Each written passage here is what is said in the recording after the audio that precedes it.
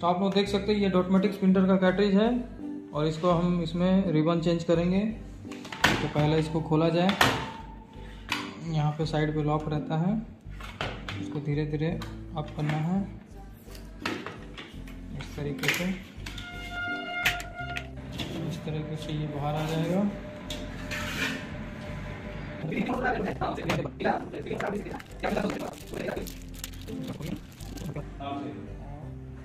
धीरे धीरे इसको ऐसे घुमाते जाना। है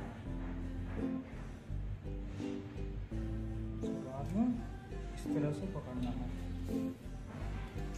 और सीधा सीधा पकड़ना है।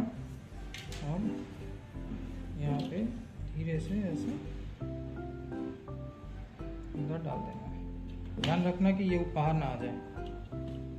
उसके बाद में इसको धीरे से यहाँ पे ऐसे इस तरीके से लगाते जाना।